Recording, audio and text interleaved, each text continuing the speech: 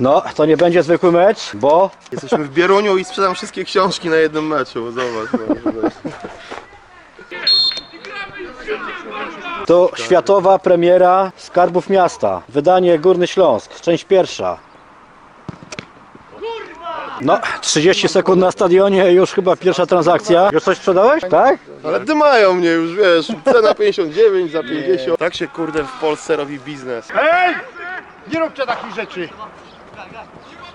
No ja pierdolę! Jeszcze tak woli ścisłości gospodarze to Piast Nowy Bieruń, goście to LKS Łąka, jest to szósta liga katowicka, zdaje się.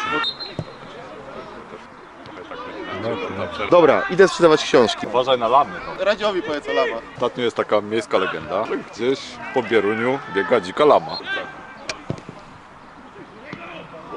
O kurwa! Była ogólnie jakaś impreza, no to wiadomo, pewnie tam mocno zakrapiana i gdzieś ktoś otworzył jakąś zagrodę. I ta lama uciekła. Podobno do dzisiaj jej szukają. Słynna lama z Bierunia, tak? Tak, słynna lama z Bierunia, nawet ktoś wpadł na pomysł e, 1 kwietnia, żeby lamę umieścić w herbie Bierunia. No i w międzyczasie skończyła się pierwsza połowa. Do przerwy 2 do 1 dla gości.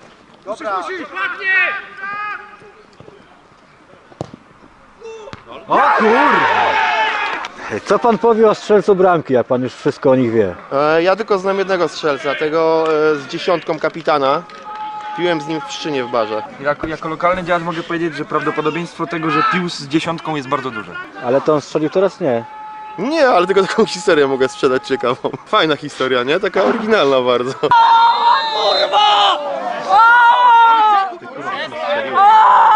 Nagrywam mnie od góry, bo przytyłem ostatnio, od góry grubasów się kręci. Boisko jest... To fajnie wygląda w ogóle, nie? Bo Tak. ani wiesz, za bardzo... Ani nie ma jakieś ławki są jedynie. Co tam się dzieje? Karty?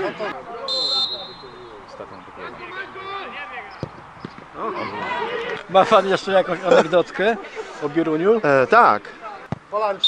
Palancie, palancie, palanto masz kurwa w rodzinie. Wiecie ile w sklepie w Lewiatanie w Pszczynie dziennie hot dogów sprzedają? 300. To jest ta anegdotka o Bieruniu. No to jest anegdota. Powiedz wreszcie kurwa!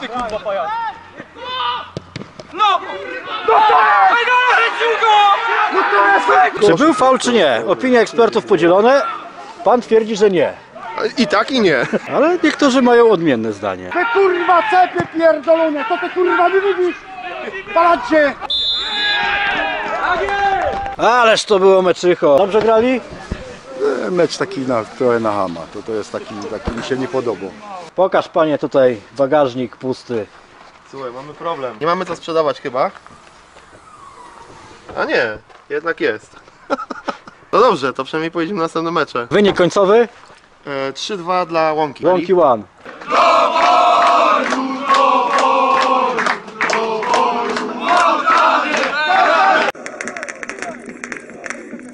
Jest erata, to oznacza, że krótka informacja o tym, że pod filmikiem znajdują się reklamy. Dziś będzie to, o dziwo, reklama najlepszej polskiej internetowej gry piłkarskiej Football Team e, i odnośnik do sklepu, gdzie można kupić te słynne skarby miasta. Jak ktoś jest zainteresowany, to radzę się pośpieszyć, bo tak wbrew pozorom to one się sprzedają nieźle. I tyle. A i o czym to jest w ogóle, że tak schodzi? To jest o piłce nożnej, o generalnie o Górnym Śląsku. Prawie 300 stron, 45 klubów, reportaże, wywiady, składy. Jezu, jak ktoś się mnie pyta o skarby to mi się żygać chce. Ja już tyle razy, ja do, ka- ja do każdego klubu dzwonię i mówię i tłumaczę to samo, co teraz ci mówię do kamery. Nie, nie będę tłumaczył, to jest super książka, tyle powiem.